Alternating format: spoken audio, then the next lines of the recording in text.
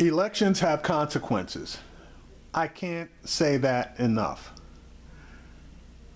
This goes out to all of you dumb asses, and in particular, you dumb ass black millennials who said that you're not going to vote. Uh, the elections are rigged. Yada, yada, yada. Well, guess what? You guys were crying before about the lack of justice in America. Let me point out to you that the, the Department of Justice, prior to eight years ago, did jack shit about racial issues, about discrimination, voter suppression, etc., etc., etc. Then, all of a sudden, Eric Holder comes on the scene and he ramps up the Department of Justice Civil Rights Division. okay? At the point that he got in there, they had both houses of Congress. So he was able to get that ramp up done. Two years later, when they got the House of Representatives, all of a sudden there started to be a pushback. Two years after that, when the Republicans got the Senate, all of a sudden there was a major pushback on staffing the Department of Justice Civil Rights Division. They blocked the nomination of a highly qualified black guy to head the Civil Rights Division. And why? Uh, What reason did they use? Well, he defended uh, some uh, serial killer, uh, and they were all pissed off about that. Nobody happened to bring up the fact that the Chief Justice on the Supreme Court did the same thing down in Florida, and he got confirmed. Didn't bring that up. So now, guess what? You have one motherfucker that is angling to get the Attorney General job to run the Department of Justice, which oversees the FBI. Now, prior to the past week's events, there were two guys in the running Rudy Giuliani and Chris Christie. Well, it looks like Chris is getting kicked to the curb. So you are looking at racist Rudy becoming the Attorney General of the United States. If you think shit was bad during the past eight years, you ain't seen nothing. Right now, you have Department of Justice prosecutions going on against the detective that strangled Eric Garner in New York.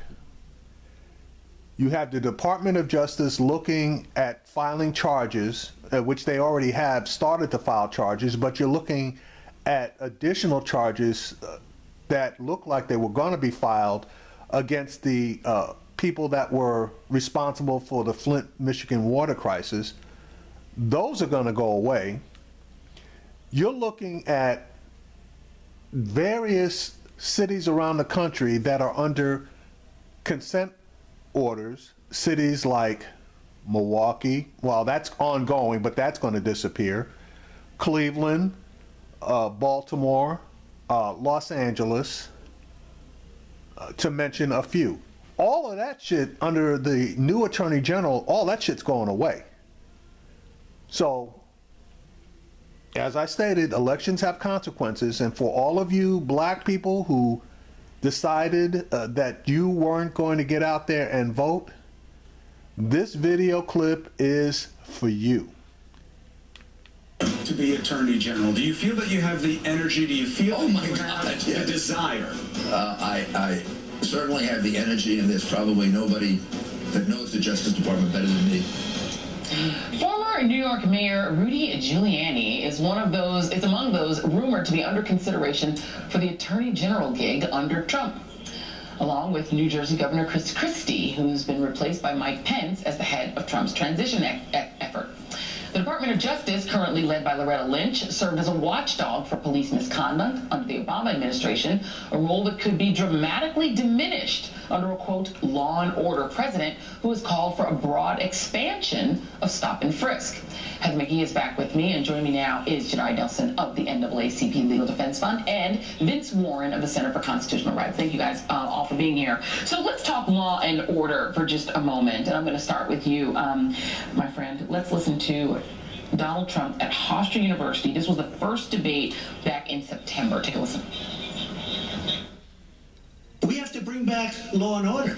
Now, whether or not in a place like Chicago you do stop and frisk, which worked very well, Mayor Giuliani is here, it worked very well in New York. It brought the crime rate way down. But you take the gun away from criminals that shouldn't be having it. We have gangs roaming the street, and in many cases, they're illegally here, illegal immigrants, and they have guns, and they shoot people. Did the stop and frisk system? I'm going to throw it to both of you guys because you guys were you were involved in it. Vince. Um, did it work here? Did it reduce crime? Did it make black people feel safer? Not at all. what we just heard was uh, just a series of falsehoods, not surprising, that suggest that stop and frisk did something to better the crime rate. And it did not. It, in fact, terrorized communities. It terrorized New York City communities, and we brought lawsuits along with our partners at CCR. Um, and a, a district court, a federal court judge held that these policies were discriminatory, that they did not, in fact, improve the quality of life and were intended to target minorities. Um, there is no way that we should roll back the clock and try to resurrect policies that have been harmful, that have been divisive, and that have violated civil rights of so many citizens. Now, I got a question, and you just heard that clip from Donald Trump talking about uh, uh, law and order and um, talking about Chicago and stop and frisk and illegal gangs uh, and uh, illegal gangs, um, gangs that are here illegally. Well, which one is it? Is it uh, black on black crime, which is the uh, thing that uh, various groups uh, consistently push. You know, they're- consistently push uh, the uh, 94% uh, crime rate, uh, black on black crime, or is it the illegal residents uh, that are here, which aren't black? Those have quote unquote been labeled as uh, Hispanic or whatever. It can't be both. Either it's black people that are here illegally that are creating the problem, or it's the illegal gangs that are here illegally that are creating the problem. But you can't make both arguments. Okay? But obviously, nobody pays attention to that. You know, what does it do to, to you as somebody who fought these policies and who's lived under Rudy? I mean, not, not a lot of Americans have. I have lived under Rudy Giuliani as mayor of New York. You have experienced Rudy Giuliani firsthand. What does it say to you that he could be elevated to the job that Robert Kennedy had, to the job of protecting the American people, of running the, of, of overseeing the Civil Rights Division of the Justice Department, and combining him with bringing back stop and frisk nationally? It, it, it's, it's a horrifying prospect. I can't think of anybody who would be more ill-suited to take to do that job than Rudy Giuliani. You know, one of the things that we're seeing in our society is that communities are being criminalized, right? So you have African Americans that are considered criminals and Muslim Americans considered terrorists, and and um, it, immigrants and undocumented people are considered illegal and probably all of the above. So we have to shift from a from an idea of criminalization to community protection. And that's been a traditional job of attorney generals in the Justice Department to protect community against these kind of racist things. He is the last person on the planet that would want to do that, would be capable of doing that, and it's it's horrifying prospect. And, and you know, and I harp on him a lot uh, because, again, you know, to live in New York under Mayor Giuliani was to be terrified if you were a person of color, to feel hunted by the police. And so, I mean, people, I, you need to get, if you're not from New York and you don't know who this person is and you think he's just Mr. 9-11, I want you to, to listen to him himself. And I was sitting on the desk here at MSNBC when he said this, um, when he was asked a question by our colleague Chris Matthews about Trump winning. This was the first thought that came to Rudy Giuliani's mind on election night. Take a listen. This is like Andrew Jackson's victory. This is the people beating the establishment. And that's how he posited it right from the beginning. The people are rising up against a government they find to be dysfunctional. And yes, it's a defeat for the Democrats, but this is a defeat for some Republicans, too. Heather, referencing Andrew Jackson. Your thoughts? Making America um, pre-Civil War again. Yeah. I mean, really, we have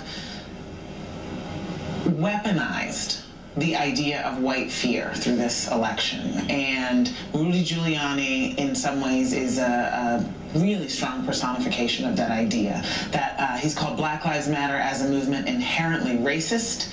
Um, we know, uh, those of us in the broad movement for Black Lives, that the shift from, you know, being having a Department of Justice that's going to investigate uh, widespread uh, misconduct by uh, police departments like those in Ferguson and Baltimore, um, that it is a risk that we run that someone who could be put into that position to uphold the civil rights and liberties of this nation, of the people of this nation, is someone with a terrible track record on police brutality. I mean, some of most vivid memories we have of people being raped by toilet plungers comes from the Giuliani era, and he has he has never backed down, never backed down from defending police during that era.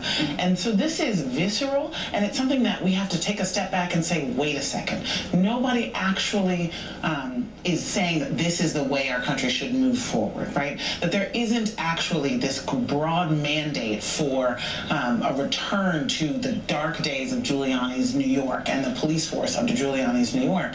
And this is, it's one thing to have him be sort of resurrected by 9-11 and be a commentator on the news, but it's another thing to put this man from the past, frankly, in charge of our nation's Yeah. law. To say nothing of All right, and for those of you who uh, don't really know your history, uh, Andrew Johnson uh, was the person that replaced Abraham Lincoln after Lincoln got assassinated. Andrew Johnson was a Southerner, okay? He, he had been a Southern governor, I believe.